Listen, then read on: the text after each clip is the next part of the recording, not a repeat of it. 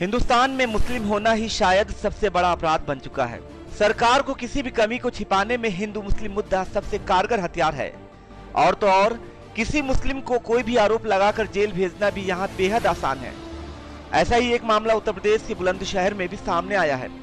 यहाँ एक मुस्लिम दुकानदार को बजरंग दल संगठन से जुड़े युवक की शिकायत पर पुलिस ने उसके खिलाफ धार्मिक भावनाओं को भड़काने का मुकदमा दर्ज कर उसे गिरफ़्तार कर लिया। बजरंग दल से जुड़े युवक का आरोप था कि वह जाति सूचक लिखे जूतों को बेच रहा था। हालाँकि युवक और उसके परिजन लगातार मिन्नतें करते रहे कि उसे इस बात की बिल्कुल जानकारी नहीं थी और न उसने जाति सूचक लिखे जूतों को बनाया था। बावजूद पुलिस ने किसी की एक ना सुनी और मुस्लिम युवक को गिरफ़्तार कर जेल भेज दिया। गिरफ्तारी के वक्त नासिर का 10 साल का बेटा रेहान कुछ और ही कह रहा था। यहाँ एक दुकानदार नासिर पर जाति सूचक शब्द लिखे जूतों का बेचने का आरोप लगा है। आरोप लगाने वाला युवक विशाल चौहान बजरंग दल नाम के हिंदू संगठन से जुड़ा हुआ है।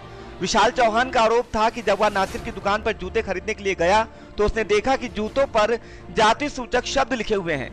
इस पर विशाल ने दुकानदार से जाति सूचक शब्द लिखे जूतों की बिक्री बंद करने को कहा, लेकिन नासिर ने ऐसा करने से मना कर दिया। बाद में विशाल नाम के युवक ने गुलावटी कोतवाली में नासिर और जूता बनाने वाली कंपनी के खिलाफ एफआईआर दर्ज करा दी। मामले में घटना का एक वीडियो भी वायरल हुआ है।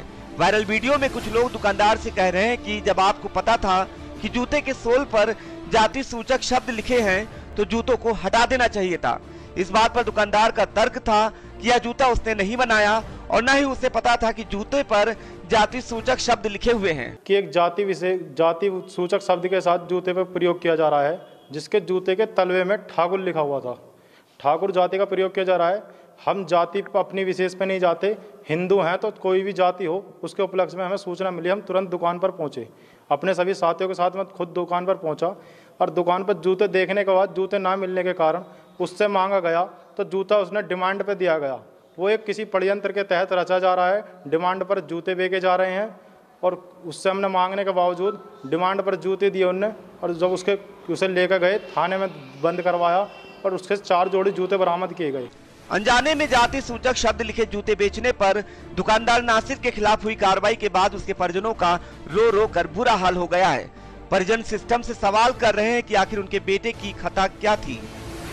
नासिर के पिता सलीम ने बताया कि उसने विवादित जूतों को नहीं बनाया और न ही उसे जानकारी थी कि जूतों में किसी की भावनाओं को भड़काने वाले शब्दों का इस्तेमाल किया गया। पड़ोसी सलीम ने भी नासिर के पिता की बात को सही बताया है। एक जाति का नाम लिखा हुआ जूता बेचने का मामला सामने आने के बाद बुलंदशहर पुलिस ने अपने ट्विटर हैंडल पर लॉ एंड ऑर्डर का हवाला देते हुए नासिर को गिरफ़्तार करने की बात कही है। एसपी ने भी घटना पर बयान देते हुए कार्रवाई का दावा किया है। चौहान नाम के एक व्यक्ति ने यह सूचना दी थी कि नासिर नाम के एक व्यक्ति ने अपने दुकान में जूते बेच रहा है और जूते के तले पे जातु जाति सूचक शब्द जैसे ठाकुर लिखा हुआ है। इस सूचना के आधार पर थाना गुलाटी पर एक अभियोग पंजीकृत किया गया है, जिसकी विवेचना की जा रही है। विवेचना में जो भी साक्ष्य प्रकाश में आएँगे, जो भी तथ्य प्रकाश में आएँगे, उसके आधार पर कार्यवाही की जाएगी।